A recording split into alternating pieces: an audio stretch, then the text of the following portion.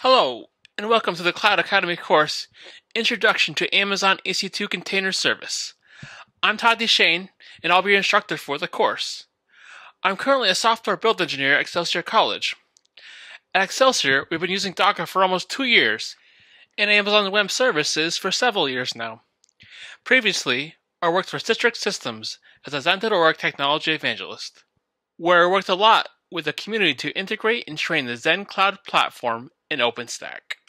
I have a PhD from Clarkson University, and while at Clarkson, I co authored a book called Running Xen, and also published various research papers related to virtualization and other topics. I'm excited to be teaching this course.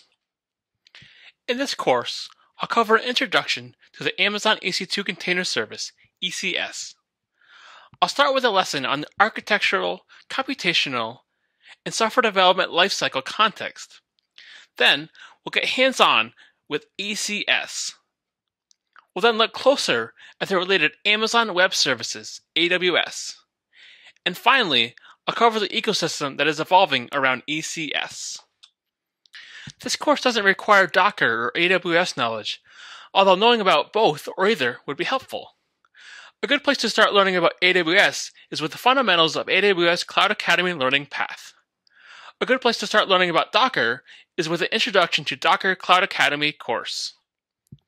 In this course, I'll provide you with just enough of the context around Docker and AWS so that you can understand them in the context of ECS.